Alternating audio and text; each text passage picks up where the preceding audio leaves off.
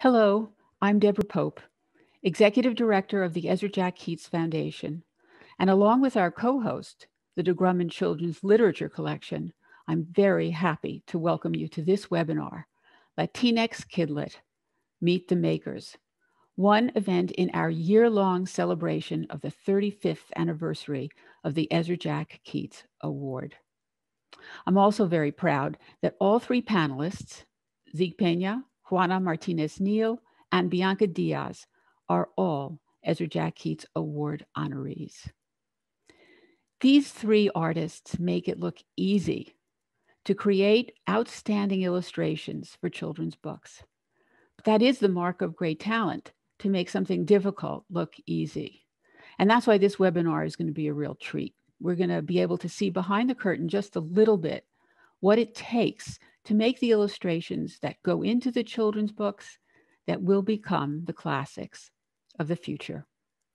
I want you to know we're recording this event and it'll live on the Ezra Jack Keats website for you, for those you recommend it to, and for those who couldn't be here today. That's it for me now, but I will come back at the end. Now it's time to get the show on the road. Ramona, it's all yours. Thank you, Deborah. Welcome, everyone. I'm delighted to be talking with these wonderful artists about their studio spaces and creative processes. So let's get the conversation started. To kick things off, I'm going to ask each speaker to introduce their Ezra Jack Keats Award honoree book in only five words, and then to tell us a little bit about how receiving this award and the mission of the award influence what they're thinking as they're going into their studio space every day to create. Zeke, do you want to get us started? Uh, my name is Zeke Peña, and I'm the illustrator of My Papi Has a Motorcycle or Mi Papi Tiene una Moto, written by my good friend Isabel Quintero. And in five words, this book is a fun ride with Daisy. Um, and yeah, the award was really special to me. I think as a self-taught illustrator, um, you know, I have, you know, I'm working on this process and, you know, learning a lot about publishing. And I think that this award was really special because it really legitimizes that practice. And I think it also legitimizes the story that's in there that, that Isabel has written. And so I was really grateful to be on a, on a great list with some amazing illustrators and authors. Terrific. Thanks so much. How about you, Juana? Hi, how are you? I am Juana Martinez Neal. I am an author and illustrator, and I this is my debut picture book, which also got Ezra Jack Keats honor for writing uh, Alma and how she got her name. That is also in Spanish as Alma y cómo obtuvo su nombre. If I were to put the, the book into words, I would say pride in who you are. Um, and I think the Ezra Jack Keats Award has helped me, has given me the confidence that I needed. As you know, given that this was my first book, it gave me the confidence that I needed to continue working and um, trust my instincts. Yeah, making that transition from illustrating other people's books to writing and illustrating your mm-hmm. own is huge. And Bianca, how about you? Hi, everyone. Thanks so much for being here. I'm Bianca Diaz, and my children's book is The One Day House or La Casa de Algún Día, uh, written by uh, Julia Durango.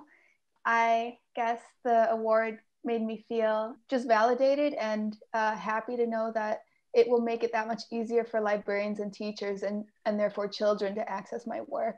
Um, so I was very happy to win the award, and it um, gives me a renewed sense of purpose when I think about it.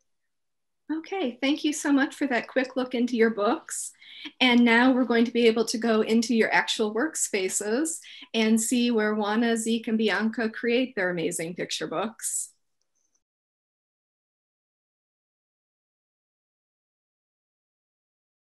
This is my studio. So here's the desk, and then this is my box for crafting. So I made like this couch, and it's part of the lovely Fiesta collection. And I made this TV. You can turn the knobs. This inspires me. It just takes my mind off like um, work, I guess. Um, and then this is a, some books that I really like. This one I love because it's like a pillow. This is like uh, the most inspiring one to me, Tar Beach by Faith Ringgold. And I just really love it. Like this, this spread especially like this pattern is so nice with all these textures and um, I like family focused books and neighborhood focused books. And I have this lamp that I really love and that lamp because I like to work at night, um, which is bad for lighting and color. So I have, I got more lamps, but I like working at night because it um, just, nobody's awake and it's way easier to focus and just like get in that zone. And uh, especially being in New York, I feel like I'm part of the ecosystem of the night. So I am in an interesting position right now. I recently moved, so my workspace is not quite set up as it normally is. I've been in a lot of spaces over the years. And with the pandemic, I'm working from home. I don't have a studio right now that I can go to. Um, but that's okay, I just keep it simple. I'm on a temporary folding table right now. I also enjoy working from remote places like going to the library or going to a tea shop to uh, just set up quickly my laptop and sketchpad and my tablet. This is really easy for me to pack up and put in my backpack. As you can see on the wall behind me, I like to keep things on the walls for inspiration. I have toys around all the time, small toys. Uh, those are just fun distractions for me. Um, if I'm working on something and I need a distraction to take a break. This is our dog Luna. Hi Luna. One of the things that I use a lot in my workspace are these clipboards. So I like to use these to keep projects that I'm working on organized. This is where I'll keep, you know, pencil sketches, uh, notes. There's some other thumbnails. Uh, I like to keep these little post-it notes for things that I find in other videos, just little reminders. Uh, this is one of the action figures that I'll use to pose in different positions if I need something, uh, our point of reference for some anatomy. Hi there, how are you? Welcome to my studio um, here in Arizona. Before I worked on, you know, the kitchen table and the dining room table and next to the crib and, and the spare bedroom. But this was my first space for just working. So we added glass doors and skylights because to me, having lots of lights in the room was very important. From that table that you see back there, that table is my working table. That's where I made every book. This is my thing. toys. Um, we have all kinds of toys. This is from when I was 12. I bought it when I was 12 for Christmas. I collect toys and I collect dolls. This one. This one I love. I'll show you. And I love this doll because she she has a belly button the shelf right here has my awards. It has the Robert F. Sibert and the Pura Belpré and then the Ezra Jack Keats. We have my of Honor for Alma. I have made every book that is published in this from La Madre Goose to La Princesa and the Pea to Alma, Baby Moon, Fry Bread, Swash Beast, Zonia. Now I'm working on Tomato Vanilla and um, another book that will be coming in 2022. That was terrific. I learned so much about the spaces in which these three illustrators and writers do their work. Mm-hmm. Bianca, I noticed that you had, and I was really excited to see that you had Faith Ringgold's Tar Beach in your studio because that's one of my favorites too, as well as being another Ezra Jack Keats Award recipient. Juana and Zeke, do you have any favorite books, either now or books that you remember really loving as kids? Juana, you get started? yeah, uh, growing up, El Principito, The Little Prince, that's my favorite book. Um, when I was 18, 100 years, 100 years of solitude. And then books now, I have so many. I have my shelves of like, you know, how much I love them. And that's how I sort them in my, on my bookshelves. See? Does that, require a lot of rearranging then. I would constantly be going in. Yeah, yeah, it does. And I, I also sort my books by illustrator, not by author. So, you know, that's, that's an illustrator thing.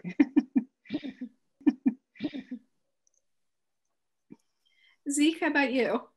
I don't know that people always consider it to be like a picture book, but uh, Bill Watterson, uh, Calvin and Hobbes, has always been, you know, is always a really big thing for me as a young person. I think a lot of the reading for me happened in uh, newspapers on Sundays, like reading the comic strips and stuff. Uh, and I think Calvin and Hobbes was definitely one of the ones that I was uh, uh, an avid reader of. Yeah. Mm-hmm. So this is a question for all of you. Did you plan to become a children's book illustrator or was it some sort of fortuitous, wonderful accident for all of us? I personally did plan to. I always loved children's books growing up and I went to uh, Rhode Island School of Design for illustration and um, just always loved children's books. So it was for me definitely a lifelong dream. Um, I did not have picture books growing up. So I did not know I could be a picture book uh, illustrator. Um, I think my life would have been very different if I would have known. so I had to actually go around my life finding until I found that, which I did when I was, you know, later in, that, in my life. So I was, you know, in my mid to late 30s uh, when I found picture books. Yeah. For me, it was something I was kind of circling around my whole life. Um, being into comics and comic strips when I was younger. My dad got me into comics, and um, it was something that I was trying to explore. But I went through a bunch of different, uh, you know, jobs, and I went through, I guess, a very windy path to get there. Mm-hmm. Um, and I think that it was the culmination of all of the, you know, illustration covers and editorial things and posters for bands and things like that, where I was really getting my, you know, schooling on how to illustrate narrative work. Yeah, it was a long, windy path, but it was something I always wanted to do. Here's a fun question.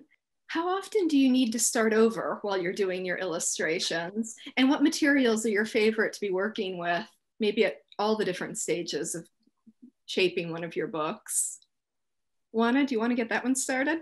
Sure. Uh, for I love sketching. I really love sketching a lot. And my I have a very specific paper that I love because of the color of the actual paper. I love certain colors. So I, you know, it was about to go out of print. So I just, you know, bought a whole stack. So I don't know what I'm gonna do when I run out of them. and then pencils, I go 4B and up. I like, I like really dark and soft pencils and my finger. I use all my hand when I paint, yeah, when I draw. Bianca?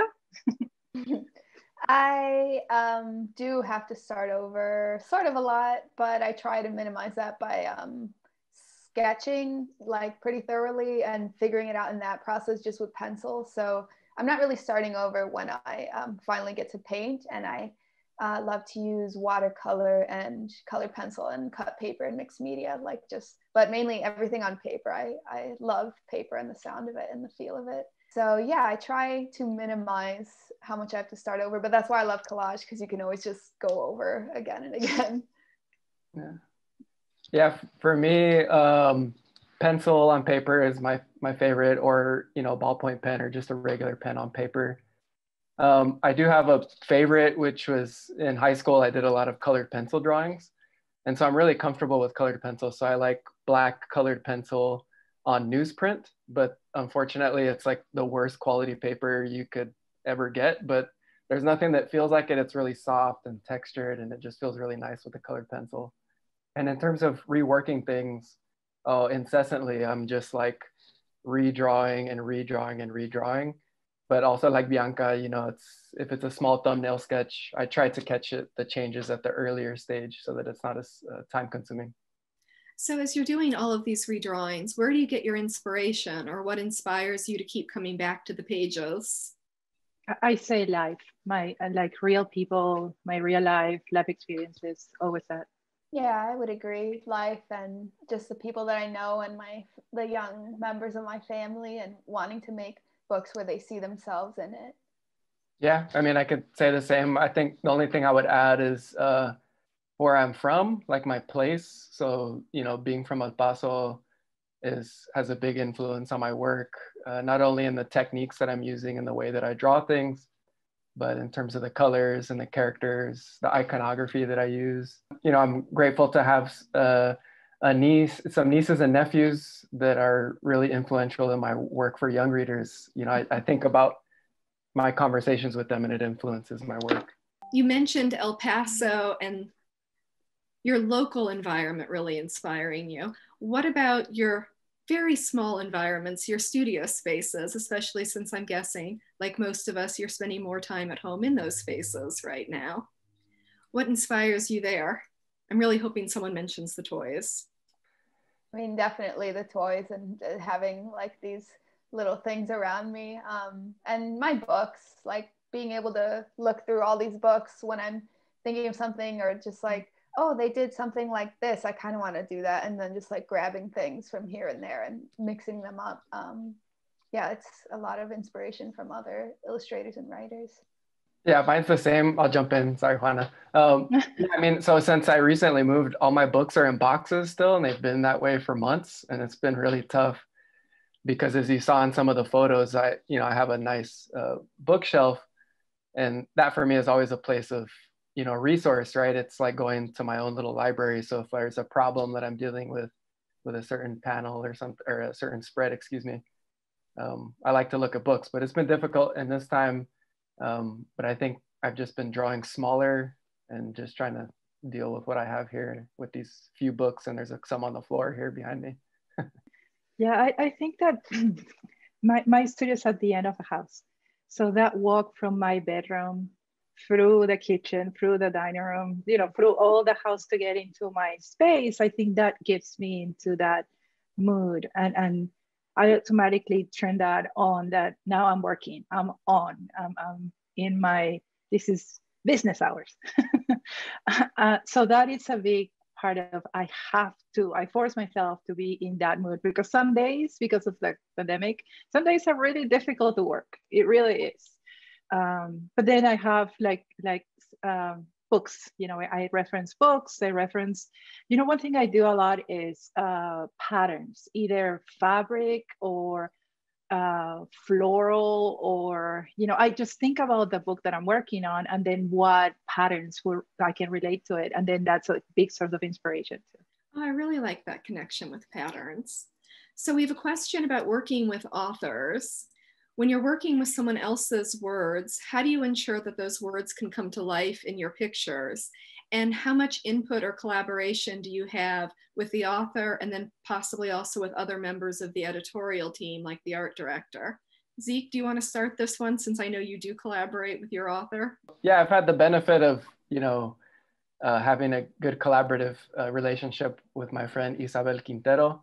And I, I kind of don't know anything different because also in my personal work, working with the community, it's been very collaborative. But, you know, that process for me as an illustrator and dealing with a specific story, that collaboration is key to me, right? So I need to be able to ask that person questions. So Isa, Isabel and I will have conversations about, you know, how should this character look?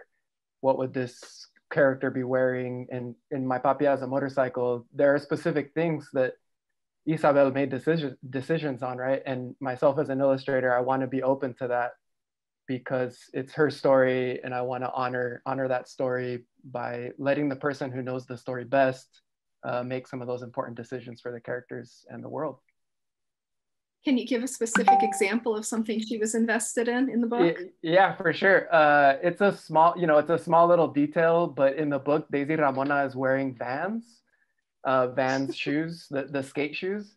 And I remember when we were having that conversation, I would, you know, because Isabel and I are texting back and forth. Uh, every once in a while, it'll be an email if I have to show a sketch or something.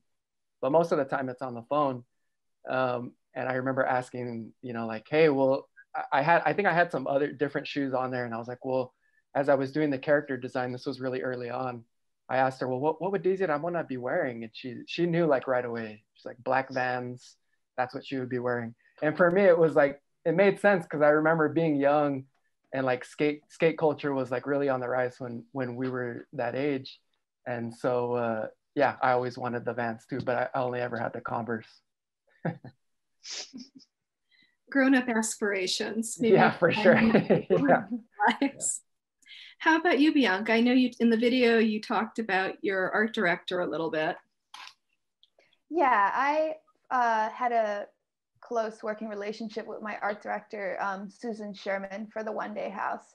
Um, and that was really great. And she was so kind of patient. It was my debut book. So, kind of walking me through the process. Um, it was wonderful. And I think it's great to have a connection with the author. Um, the way that I worked on this book was we were kept very separate.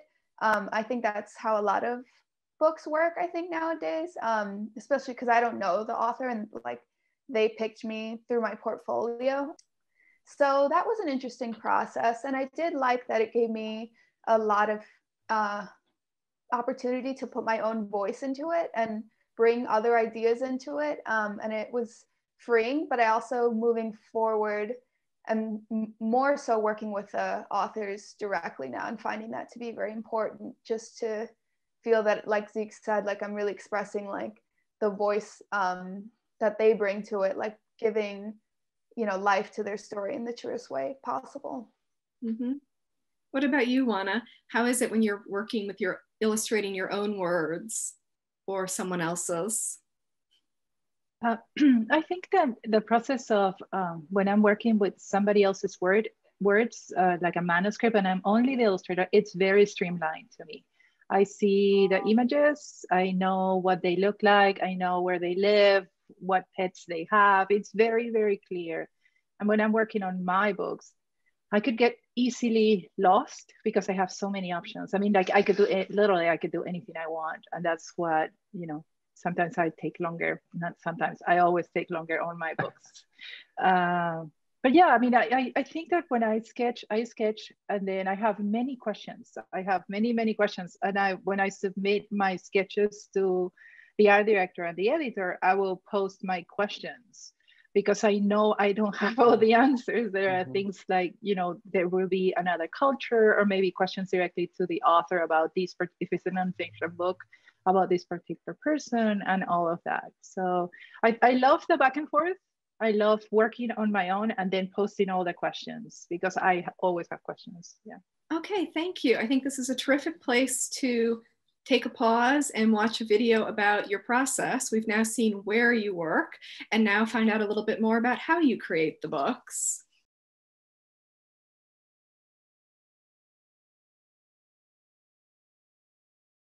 Hi, so now I'll show you about my process for the one day house or La Casa de Algún Día, which it got translated this year into Spanish, which makes me happy. So these are all from Google Earth. So I just use this to kind of help me map out like where everything will be. This is across the street from Gigi's house. So I did this and this is like that building. This is like that one. I picked some of the ones that were a bit different from the real thing. Like this one. I think the note was that he's too far and disinterested looking. I want to show their bond right away, which I think was a really good note. And this one's pretty much the same comparatively but it was originally like this when I sketched it. And they didn't like, they looked like he was in pain, which I wanted to show like her piano's broken so she's playing really bad, but we kind of reworked it. This is the cover. And then I did it in color, trying to figure out like, so you could see how like collagey it is. Like there's so much doing it over and over. And then I was trying to figure out like how the cover will look. So I did like different skies and I settled on yellow, but there was like a couple options that I tried. My editor, art director, Susan Sherman, I mean, she was amazing. She really helped me figure out process. This is my first published children's book. See some of the, how the notes look. So this is one page. Susan would write her notes here. It's hard to remember everything as the illustrator, so I really appreciate working with an art director. It took maybe almost two years, um, but I was also in grad school at the time. Um, but it was a long process and I appreciated like the intense care that people put into it and I'm really grateful. I um, work in this room uh, every day, at least five days a week. So this is my uh, computer table. Uh, I do my writing. Uh, even though I am a traditional artist and I do all my sketches by hand, I put all the sketches together in Photoshop. And that's my working table. My working table changes depending on what I'm doing. Right now I'm working on sketches. So all I keep is pencils and paper. If I'm painting, then I will have my acrylics, my paint, my water, my palette and all of that. If I'm printmaking, it will be the inks. Now, once everything is done, I start hanging all my work in the in these clotheslines that I have throughout the whole studio, two more above my desk. Finishing and hanging my piece and putting it right there so I can see it every day.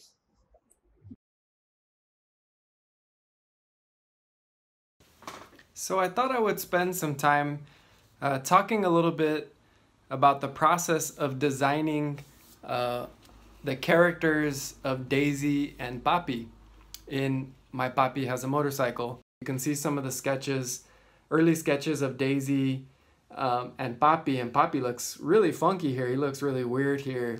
Um, and, you know, as I moved on in the sketches for Papi, you know, I started really exaggerating some of the features um, and really pushing the anatomy to really make a caricature of what I thought Papi was going to look like. Before I even get to working on the page, um, I draw these characters uh, 20, 30, 40, 50, 60 times, sometimes 100 times, um, just to really, you know, be sure that I can draw the character over and over again. I like to show these sketches because it just shows anyone who's trying to become an illustrator or, or who is interested in it that your first sketches are, are not going to be good and they shouldn't be good but that's part of the process. It's a matter of you know repetition and really trying to figure things out until you can kind of get to the point where you're able to draw a character over you know several pages to make sure that you can you know, get the expression right. I was really happy with the way, you know, these characters turned out. I have fun drawing them, which is also really important. I, I love this spread because you see our main characters in three different places on one spread. One, two, and three up at the top.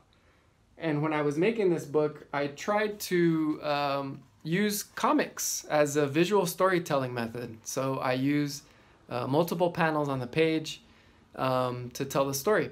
And I really like this spread because it shows that really clearly that we see them moving through the scene. There's a really fun jukebox. There's this guy waving and then they're taking off. Um, so that gives you a look, a little bit of insight into my process for designing characters, uh, which for me is, is one of the most important parts of the process of illustrating a book. That was fascinating.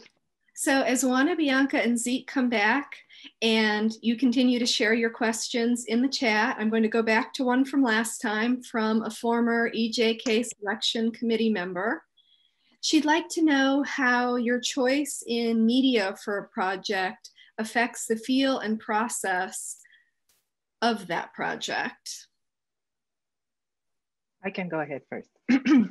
I, I am a mixed media artist, and I truly believe that each book will have a different a different feel uh, overall, a mood, you know, uh, and that's uh, that to me that's seen by through the palette, through the choice of paper, through the size, and also through the technique that you use. Uh, for example, if you were to look at Alma, it was the whole idea of Alma was to remind you of photo albums, uh, old photo albums. And that's why I made them all black and white, right? While in Zonia to represent the rainforest. And for that, I thought that using a different paper, handmade paper made of, you know, banana tree bark and using uh, printmaking was the perfect choice for that particular book. So I do believe that it is very tied to what the message you're trying to give in your book. Yeah. yeah, I, I agree. The the medium dictates all of it. What's at the heart of it is the narrative, right? Um, I've made work where there's one story, and then I've made a painting of it, a comic of it, and you know like a digital illustration off of it you know and so, so i think that uh, there's many choices that you can make and each one i think has its own way of reflecting uh, themes and concepts in the story.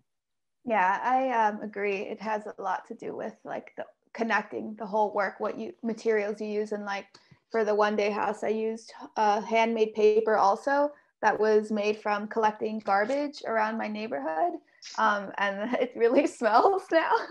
when I uh, I still have it, but uh, at the time I didn't care about that, and it just like uh, made it like the journey of collecting that and then like blending it into a pulp and then um, just I I'm also like Zeke said earlier I'm really inspired by my neighborhood that I'm from in Chicago um, from Pilsen. And just like getting that garbage that I kind of grew up all around um, and putting it into the book really helped me ground myself in that story and like feel like I'm bringing in all those aspects of like living in that neighborhood into the art itself. So I feel like yeah, the materials like really um, like tie the book together.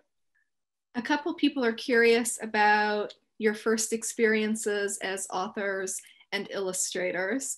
So, what was it like working on that first book or pitching your artwork for that first book? For illustration, my first book was La Madre Goose, which is this one right here. And um, I was very scared because I had been pursuing, hoping to illustrate picture books for a, for a few years by then.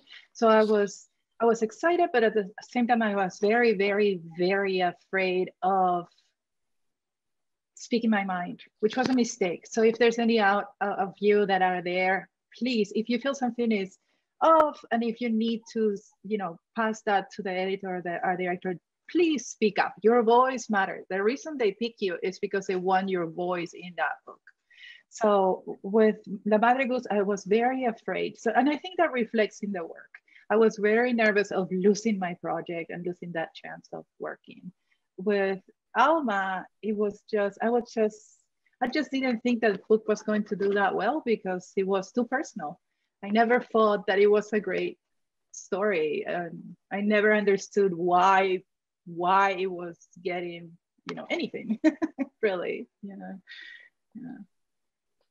Yeah I, I, had somewhat of a similar experience. I think i mean i've been self-publishing work for a long time right? Uh, online comics uh, publishing little zines um, making weird like audio comic book things. Um, but when i finally, you know, published a, an actual, you know, book with a publisher was Photographic, The Life of Graciela Iturbide, which was also written by um, Isabel Quintero. And um, that, I, I, was fortunate that it was a comic book because it was something that I was very used to. I was very, uh, you know, used to making work in that mode and telling story in that mode. And I think that uh, it really was just this other element of having someone else write the story and then having the photographs put in. But like Juana, you know, with my papi has a motorcycle, it felt more personal. Um, it, it felt like, you know, Isabel was very, you know, gracious in allowing me enough space to also put a little bit of myself in there, which I think is an important thing for me as an illustrator. I want to have that personal connection. And so I think, but I, I was a little timid about it, right? I was like, can, can I draw in this style? Like, is it okay for me to draw in a more cartoonish style? Because I think over the years of doing painting and this sort of thing, I, I felt this obligation to draw realistically or draw a particular way. But when I normally draw, it's this, my papi has a motorcycle. It felt very connected to the way that I drew in that book. Yeah, um, I felt, I guess I'm still, I feel like I'm still sort of new. Uh, this is my first published book, and then I have one that's coming out in March, but it got delayed because of uh, the pandemic. Um, so I still feel like I'm sort of like I thought that was really great advice from Juana, like to speak up for yourself and like say when you feel something. Um, because I was also like afraid to kind of say everything that I think um, when it came to illustrating this book, but I do feel like uh, everything that I wanted to say did get out there, and it was great to work with um, Susan Sherman and everyone at Charlesbridge. It was a great experience, and um, I would like to be an author of my own books, and I do have some stories that I've been like editing for several years and like um, pitching and then getting notes from editors and rejections and like going back to the drawing board. And that is a long process, or it has been for me. Um, like telling stories and pictures for me comes so much easier and like just feeling emotions and being able to show that in an image rather than like explaining it with words is much harder for me but uh, it's something i really want to do and look forward to doing in the future um, so yeah I, I, think it's like um, not always an easy process you just have to keep trying and doing it and uh, failing and then trying again mm-hmm. and as someone who thinks very much in words i'm always so completely amazed at how illustrators and artists are able to think in those images and pictures and colors. So we have a question. Have you ever been in a situation where you've needed to reconsider how your story and imagery may be viewed by a child or a family in a particularly marginalized community or situation? And if so, do you have a process for that kind of self-editing or thinking through how your artwork might be received by children in marginalized communities? you know, being from a marginalized community, I I'm not sure that I think objectively about being in a marginalized community. What I what I do do is I think objectively about young readers, and I try to be very intentional about the choices that I make with regard to cultural things, uh, things that have to do with ethnicity, race, class, all of those you know uh, concepts that are at play in our society. So um, but you know the best i can do is to think critically to have conversation to surround myself with people like a collaborator in isabel and editors that are willing to have those difficult conversations and to call out things that are problematic i think that it's just a matter of, of being intentional about it trying to speak from the most honest place and i think something that i'm recently trying to practice which is trying to start first in terms of the process for that is starting first with understanding where I am at in a relationship to a story, right? If it's uh, dealing with a certain issue that I'm not familiar with, I, I need to understand that. I need to understand the privilege that I have and recognize that so that I can move forward and knowing if I'm the right person to tell the story in the first place. Yeah, it's something that I think about a lot. Um, myself being from a Mexican American, like working class neighborhood, like my family's um, my grandparents immigrated to that neighborhood from Mexico. And I, at the same, like, so I try to tell those stories of my community that I grew up in, but at the same time, I realize like I'm um, like very light skinned and like white presenting. So I like constantly kind of try to think about that and think about like my privilege and where I'm like accessing these stories and um, just like making sure I'm talking to my family and like editors and like um, other friends and artists like trying to say like get second opinions and see like yeah like is this um i guess inappropriate in any way or am i reaching beyond my experience um, in any way? So that is something that i think about a lot with uh, children's books. Um, as soon as i receive a manuscript i need to feel very strongly about it or i just cannot be working on that story. So the, the minute that i choose to think that story is because I find that I'll be able to find add my perspective to that. Now, with that said, I truly this dislike the word marginalized because we need to think. I, I like to call. I prefer to call.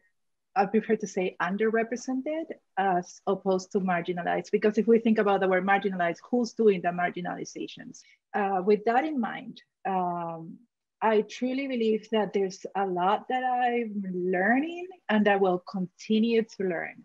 So I have to approach the book in the space and time that I'm at that moment. Perhaps in 10 years, I'll look at a, at a book and go, how did I do this? But I can only work with the knowledge that I have now. Now having a group of people, and, and that's why, you know, making a book is it takes a village. Because you have all these questions right? Uh, am i using the right language when i when i'm using this word in this illustration? Am i using the right the right perspective? Am i am i using the idea of the concept of the names of the countries from the perspective of after the discovery, so-called discovery, right? Am I being, am I following this colonial ideas, you know? Um, so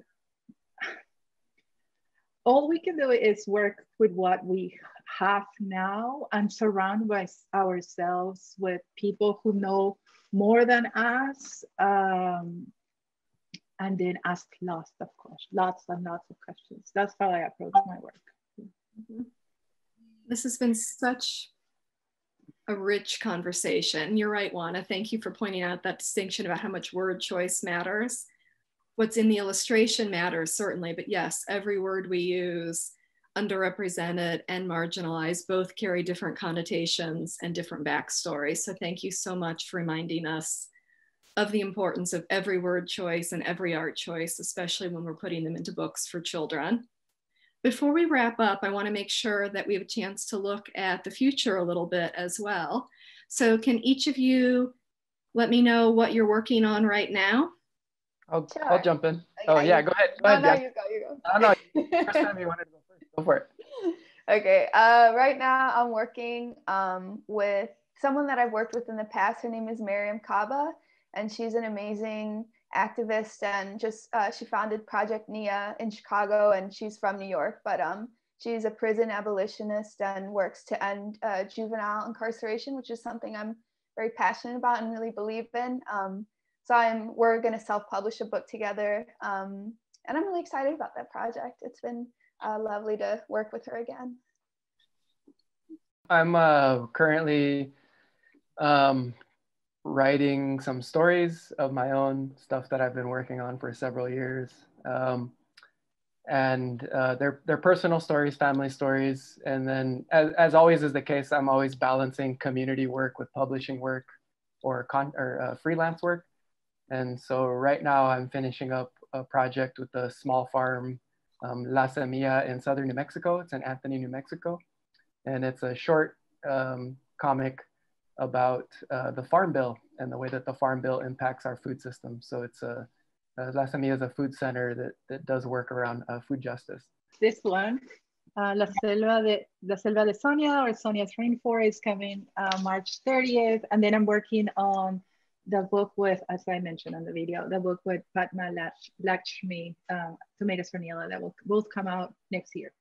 So yes, all of you are definitely keeping busy right now. Some amazing stuff coming up what do you think is going to happen with publishing, especially publishing for children in the next few years? I mean, we're at such an interesting point in terms of COVID and the stronger push for anti-racism in children's literature. What do you think the next few years look like?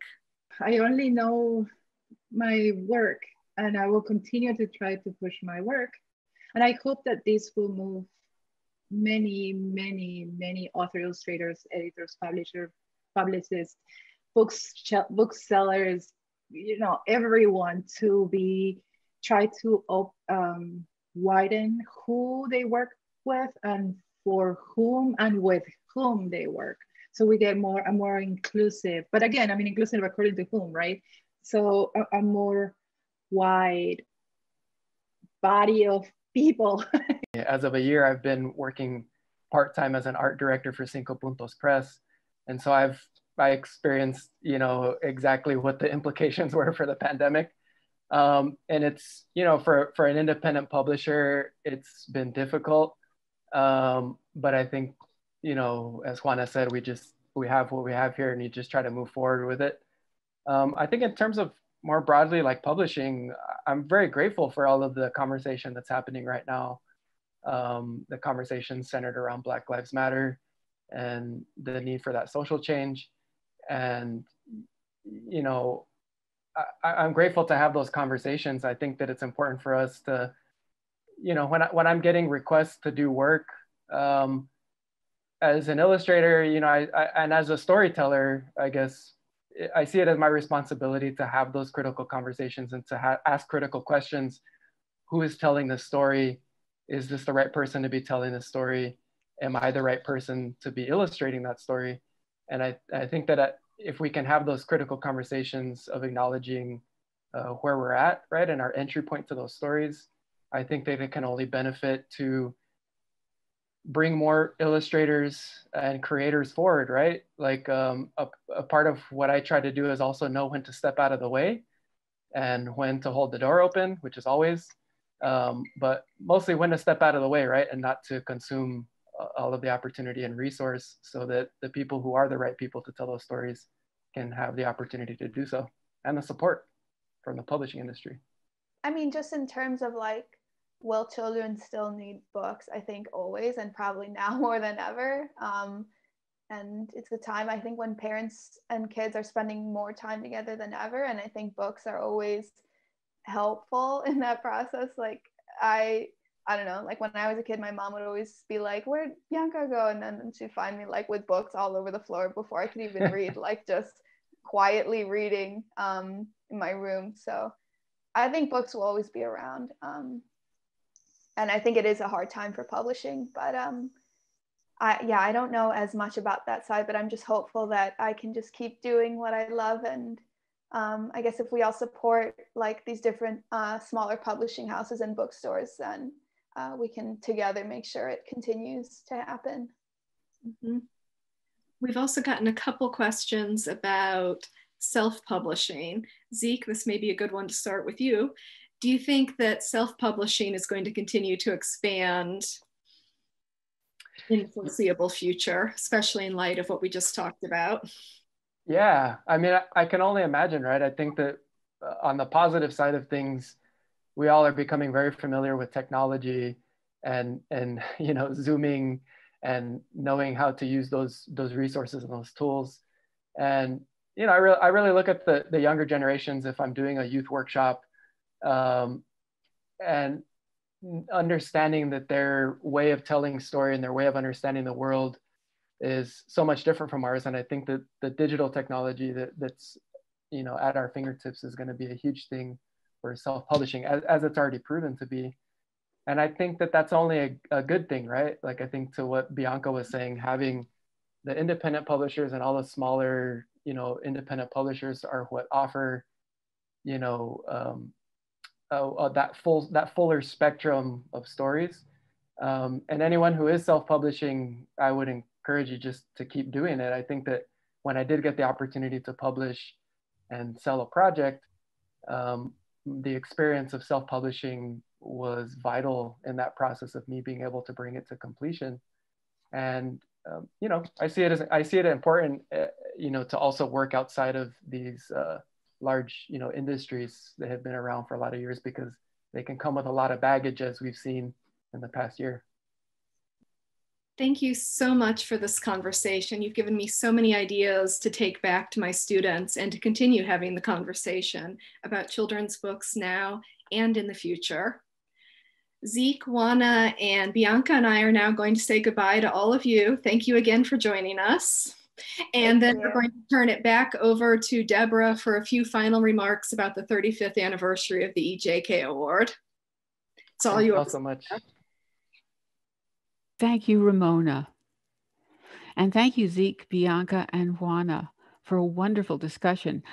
It moved seamlessly from a conversation about how your physical environment affects your creative process to how the social and political environment affects your thinking and therefore your creative process.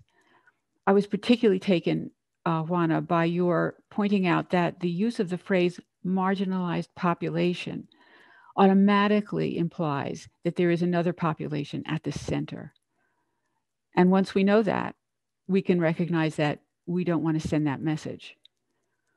I was also struck by the fact that all three of you consider self awareness, sensitivity, and an openness to the thoughts and opinions of others as central to your way of making books for children. Books that I do believe will become the classics of the future. So thank you, uh, Zeke, Bianca, and Juana for welcoming us into your studio and for sharing so much of your creative process and your thinking with us. And thank you, Ramona, for being an extraordinary host through the discussion. Special thanks always to our creative EJK team Diana Voza, Robin Stein, Jocelyn McCarthy, and Riot Intraub. Don't forget to follow us on social media, and please visit our website where you'll find a host of information about events coming up in our Ezra Jack Keats Award 35th anniversary campaign year.